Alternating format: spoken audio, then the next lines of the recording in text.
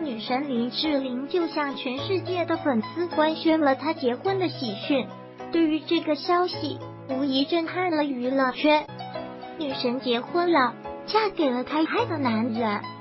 从微博发布的内容就可以看得出，林志玲非常爱她的老公黑泽良平。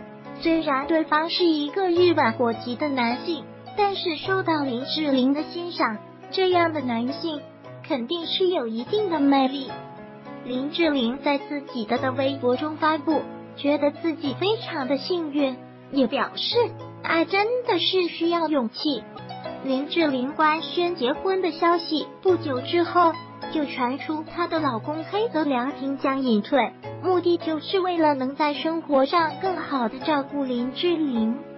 但是也有的网友说，黑泽良平现在已经三十八岁了，在年龄上是一个中年男性。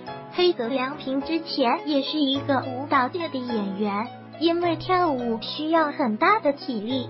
但是黑泽良平已经三十八岁了，没有很好的体力来跳舞。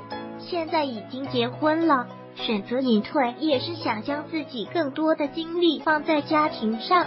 这两个原因放在一起，真的让人又心疼又羡慕啊！心疼黑泽良平可能要放弃自己喜欢的舞蹈事业，但是又羡慕他拥有了幸福的家庭。众所周知。林志玲和黑泽良平是一对姐弟恋。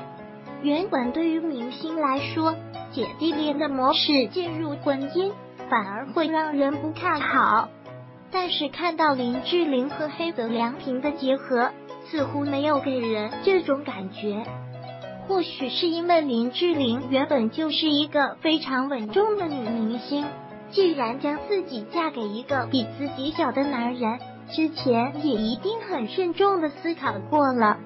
虽然很多人都知道他们是姐弟恋，但是这段婚恋一如既往的被看好。